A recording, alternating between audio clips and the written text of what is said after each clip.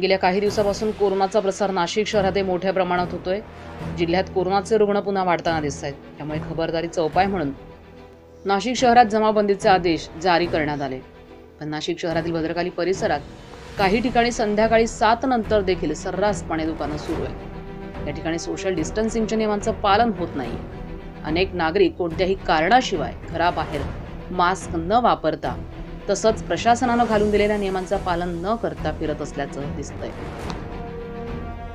प्रशासनानं घालून दिलेल्या नियमांचं उल्लंघन केल्यानं या दुकानदारांवर कारवाई होईल का असा प्रश्न जनसामान्यांनी उपस्थित जागर जनस्थानसाठी प्रकाश धुर्वे नाशिक.